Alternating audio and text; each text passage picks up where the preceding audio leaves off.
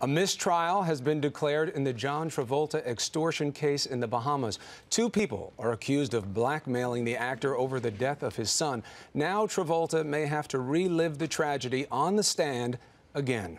Our Jeremy Hubbard has more. The two people accused of trying to shake down John Travolta for $25 million are getting a new trial. A judge abruptly dismissed the jury Wednesday after a Bahamian politician announced on live television that one of the defendants had been acquitted.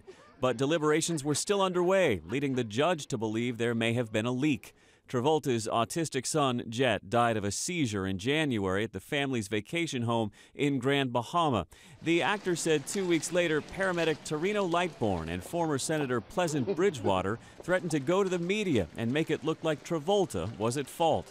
He testified, quote, those stories would imply that the death of my son was intentional, that I was culpable in some way. The alleged plot centers around a document Travolta signed to have his son flown back to the States for treatment instead of being taken directly to the hospital. But Jett was treated in the Bahamas. Travolta's attorney said his client will continue to cooperate fully with police and testify again if necessary. For Good Morning America, Jeremy Hubbard.